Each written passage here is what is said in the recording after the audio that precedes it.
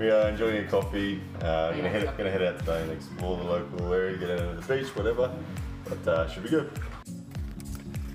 Just heading into town. Me and Heather are gonna go um, visit One Anna Park and then head out for lunch at a cafe or something like that. We've just stopped to see Polar Bear here. He's sitting at the front of the hospital waiting for his owner. Very cute. Hello Polar Bear. That's his name on his tag, Polar Bear. Alright, so just visited my pa in the hospital pa was bitten by a red back spider. So a few days recovering, but complications when you're in your mid 80s. So I hope he's he's on the mend. So uh, hope he'll hopefully he'll be home soon.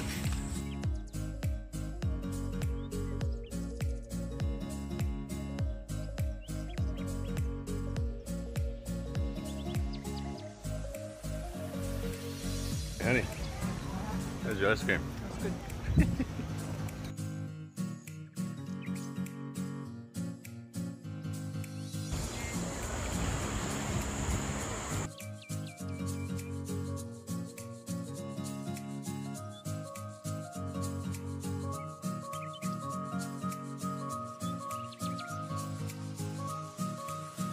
Here's the other side of the lookout.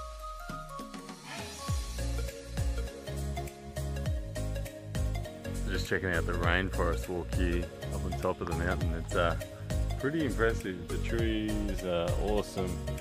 The birds, the sounds. You get off the beaten track and all of a sudden uh, it's very therapeutic to be honest. It feels pretty good just to be in somewhere peaceful like this.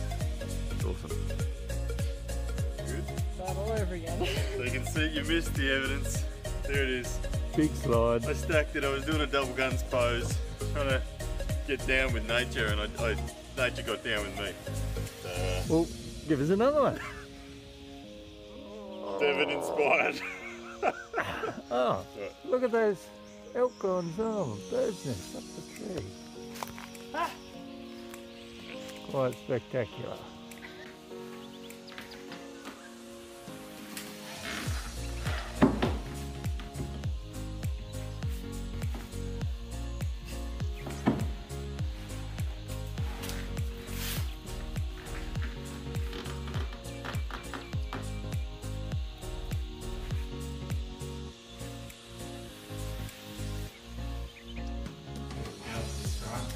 Turn you hook. I- I could top roll you any time, but I'm waiting. I'm determined to turn you into a hook. You'll come in. I'll be arm pressing. You'll bleed out the elbow before. Snap his thumb. He's trying to. He's working the thumb pretty hard. I'm pushing him towards the pad. I'm refusing to go that way.